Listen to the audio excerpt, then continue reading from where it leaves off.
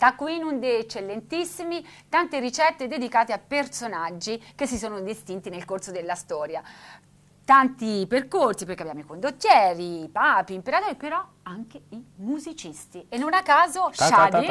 abbiamo Beethoven con i naselli alle erbe aromatiche. Ma pensa un po', ma il pesce proprio abbiamo voluto dedicare, anche se non Perché? era un gran gaudente lui, eh. Però appunto perché passava tanto tempo davanti al pianoforte, quindi doveva sentirsi anche leggero dopo, no? Perché tornava. Fammi vedere un po' che cosa ci vuole, perché Allora, ti aiuto in questo caso, sì, eh, poi eh, dammi una mano così se ne fanno velocemente insieme e si Ci mettono mettiamo via. i guanti perché sapete il pesce non ha un buonissimo odore. Allora, io ho già preso dei naselli, Sì, l'ho eviscerati, puliti, eccetera, eccetera, svuotati e l'ho già preparati per essere farciti con delle erbe aromatiche. e voi a casa fateveli fare dal vostro pescivendolo di fiducia.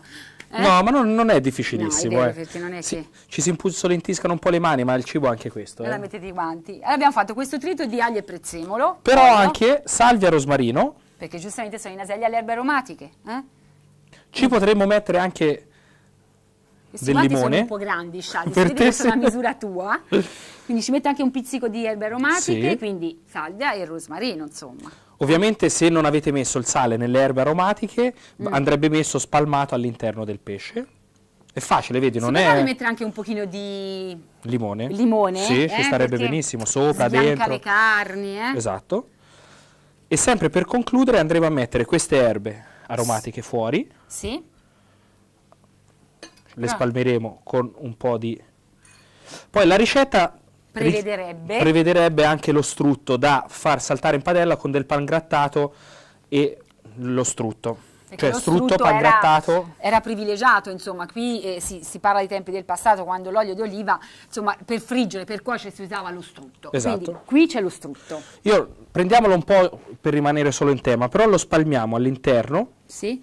Perché le carni forse rimangono anche più morbide. Sì, eh, come le stesse caratteristiche che può lasciare il burro, anche in questo caso lo strutto lascia le carni morbide, ma nulla vieta oggi, per una questione di dieta, per una questione di utilizzare l'olio extravergine, anzi, è Anzi. mille volte meglio. È molto meglio. Fatto questa operazione, Lo concludiamo con il pan grattato che la ricetta vorrebbe saltata in padella con lo strutto, noi lo mettiamo sopra. Noi tendiamo molto ad alleggerire.